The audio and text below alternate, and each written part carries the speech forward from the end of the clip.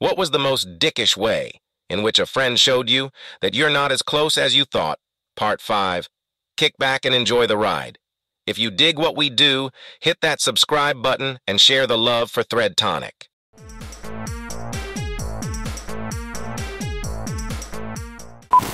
Account 1. Drove him to job interview after job interview. Took off days from work in order to do so.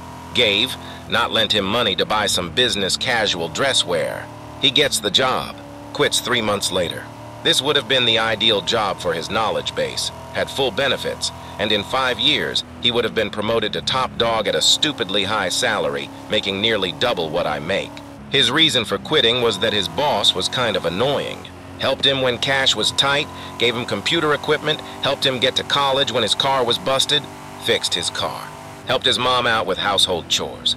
Helped watch out after his sister, drove and picked him and his mom from the airport at 3 a.m. when their ride never showed. They were family to me. Anywho pulled a scumbag Steve on me. Promised to come over after I spent a week in the hospital, was scared and just wanted a buddy to have a beer with and chat. Never happened. We rescheduled three times. Each time, no call. Then he stopped answering my phone calls. Maybe once every week or so. We had spent nine years hanging out nearly every other day. I sent him an email expressing my hurt that he was a brother to me. Got a reply back? Account 2. First timer that's been lurking for a few months. I saw this thread and had to get this off of my chest. My best friend and I had been through hell and back. We've known each other for 25 plus years and have seen each other through the best and worst in each other's lives. I was his best man at his wedding and he at mine. All of the times that he hit rock bottom, I was there without hesitation, without judgment, but with a hand to help him up and a shoulder to lean on. Four years ago, I was injured while on the job. Due to the nature of the injury, I had a lot of pain and some psychological issues as well. I was assaulted by a patient in an ER. About three months into a severe downward spiral, I got extremely suicidal. It scared the absolute shit out of me and got to the point where I didn't want to go into my house for fear that I'd grab my shotgun and use my brains for wallpaper. Not knowing what else to do, I called my friend and asked him to come get my shotgun from me. I explained to him very clearly everything that was going on, and he agreed that the gun shouldn't be anywhere near me. He then asked if he could borrow my pickup, as he and his wife were moving into a new house. Since I couldn't drive it, I told him to keep it as long as he needed.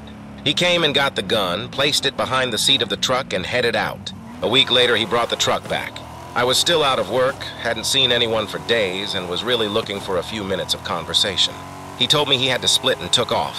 After he left, I thought to myself, I wonder if he remembered to get the shotgun out of the truck.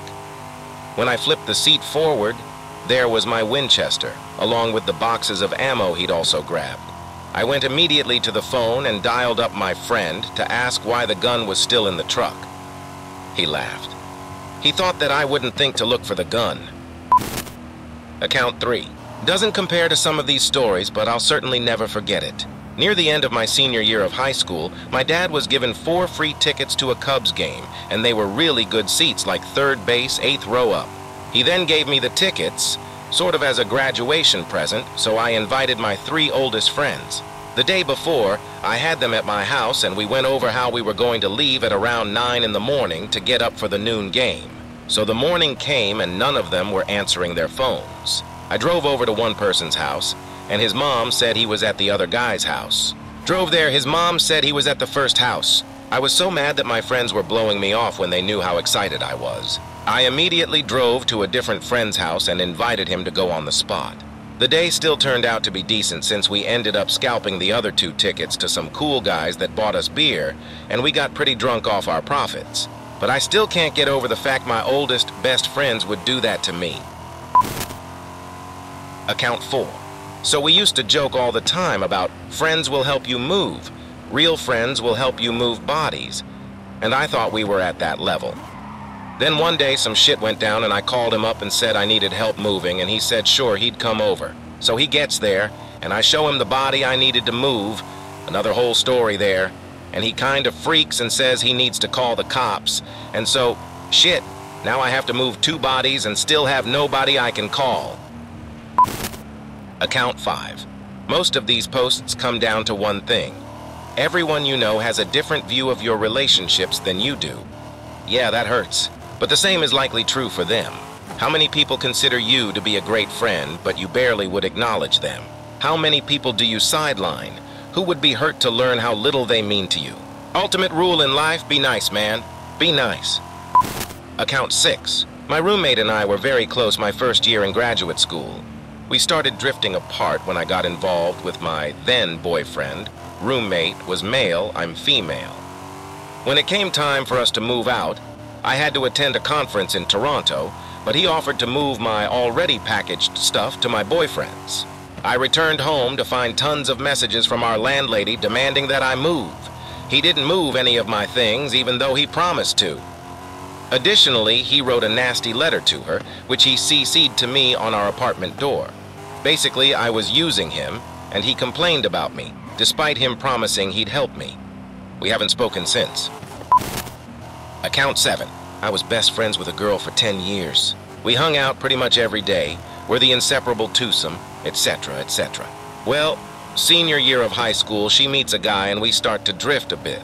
She and I had been quite the party types in school, but this guy was uber Christian and was her first boyfriend. So we, understandably, drift from each other.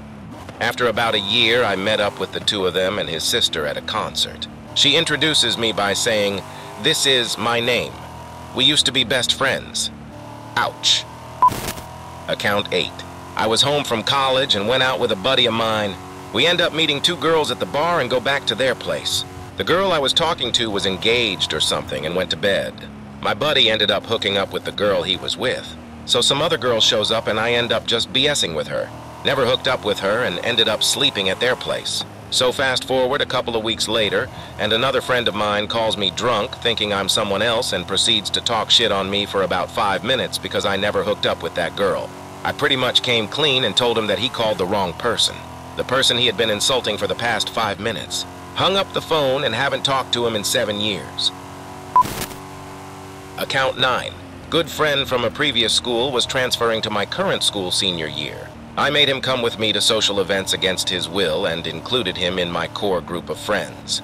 He started to act douchey around me and make snide douchey comments to me that I took as some kind of joke. Apparently they weren't. So one day he invited himself to my house while my mom was out of town and brought three other people and was insisting that we have a party. I said no. I didn't want to fuck up the house and my mom threatened to kick me out if I had another party. He then proceeded to throw a bitch fit and demand that I invite some girls over for a party. He's big, awkward, goofy, and fat. Never met a girl that thought of him as anything more than a friend. I then said no, so he stormed out of the house with the other guys, leaving me. He ignored me for a week, and then the very next weekend, I heard he threw a party at his mom's house and didn't speak one word of it to me, and no one else told me except one of my friends who went. He tried to keep me out of the loop on everything. To this day, I still don't talk to him. He won't even look me in the eye.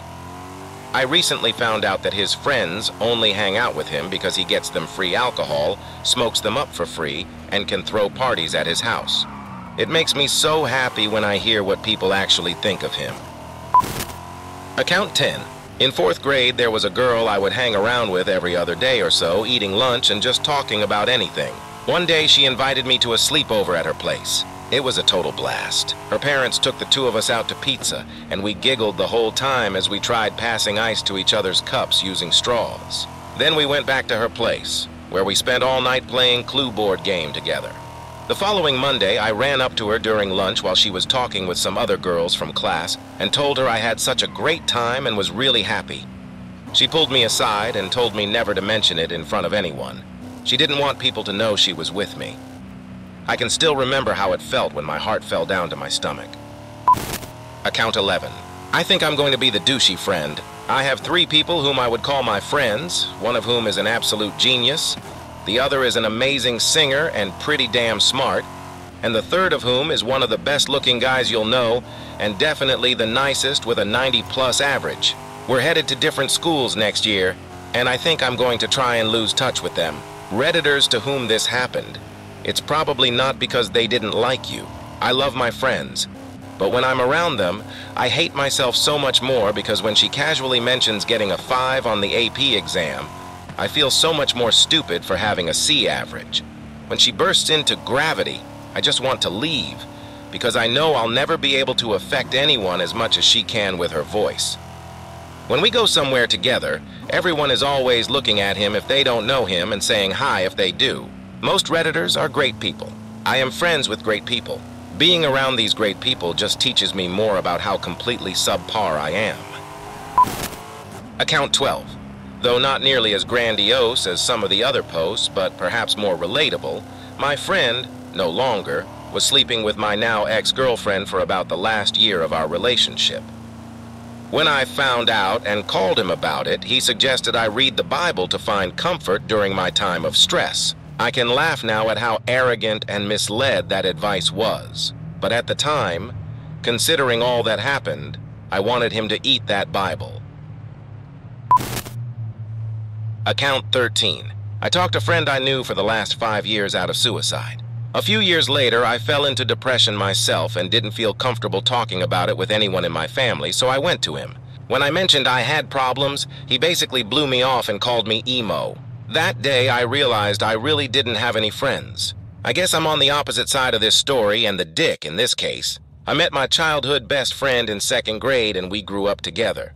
We both had several of the same interests, vivid imaginations, incredible nerds, etc. Simply put, best friends. In high school, my friend, let's call him Tom, started having seizures. After going to the doctor, Tom discovered that he had a brain tumor which needed to be removed surgically. This obviously scared the crap out of me, and to this day I vividly remember sitting on the steps in my parents' house when I heard the news. As a best friend, I tried to be as supportive as possible, and I can honestly say I was in the coming years. More on that in just a bit. Tom went into surgery, and I was there the next day when he woke up. This moment in time, which I wasn't even slightly prepared for, was the most pivotal moment in our relationship. While I saw Tom open his eyes and acknowledge his family and myself around him, it was not my best friend who woke up. As time went on, in many ways, I felt like I didn't even recognize who this person was. A once energetic, spirited, and brilliant human was replaced by a shell of that former person. To be very honest, to this day, I personally feel that my best friend died on that operating table and that I've lost him forever. I do want to note that in no way did I think this was his fault, nor did I blame him. It's just the horribly depressing truth of the situation. High school went on, and we remained best close friends, but as time went on, I felt less and less close. I mean, we remained very close, hung out all the time, but our relationship began to lose all of its substance. We didn't really have any deep conversations or share things with each other. We watched movies, games, etc. But, and I'll use the word substance again, whatever substance constitutes what makes up a best friend was lacking.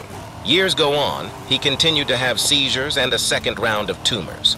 Through a variety of treatments, the tumors were gotten rid of, but he still had off and on seizures. As a result of the tumors and treatments, his short-term memory was pretty much shot to hell, which in part made it difficult to have a close relationship with him. Time keeps turning and we go off to college. We kept in touch for sure, but not that much. It was what it was. In my third year of college, and I'll spare all the details, my personal life went to absolute crap as my family imploded, and a variety of other things occurred. These events really messed me up and were tearing me apart. It got to the point that after I graduated, I moved several states away to a new city, completely leaving just about everything behind. This is the part where I feel like the cowardly dick. Part of my decision to run away, if you will, was not talking to Tom about it. We both had moved back to our hometown for a bit and such, and continued to hang out here and there. However, I didn't mention my plan. My family was aware, but I never really told any of my friends. I basically suddenly just left.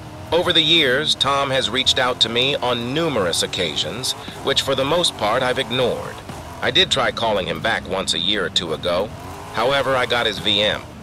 I didn't return his call back to me. I left because I didn't want to be reminded of what I left behind. And although Tom didn't cause any of my personal problems, he was a reminder nonetheless. I've tried to justify to myself that we had grown apart as we grew up as we were different, and the surgery had changed him, etc. But to this day, I feel incredibly, incredibly guilty. At this point, it's not even so much the reminder of what I left, but the fact that I feel like such an ass that I can't bear to reach out. So in this case, I'm the dick, as I never told my childhood best friend that I felt we had grown apart and that his medical condition had changed him. I think he was aware, but regardless, to this day, I ignore all of his attempts to contact me. Sorry, this was such a long post, but I've never really talked about this with anyone before I have bits and pieces. But reading this thread reminded me of how I loathe myself for what I did and do. Count 14. Found out that one of my closest friends at school was in a secret relationship with another friend of ours for a full year. She didn't even tell me about it until she decided to break it off with the guy. Over this whole time, she also made up countless lies, and I basically can't trust a single thing she says anymore. She was a bitch.